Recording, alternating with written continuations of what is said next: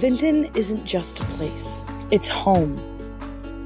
It's something the community doesn't just say with words, but lives. The windows aren't just for shopping, but for dressing in black and gold. Our people support each other, promote each other, and encourage each other. Through the flower shops to the corner stores, through every stop, even the ice cream store. Our community, it's the heartbeat of Vinton.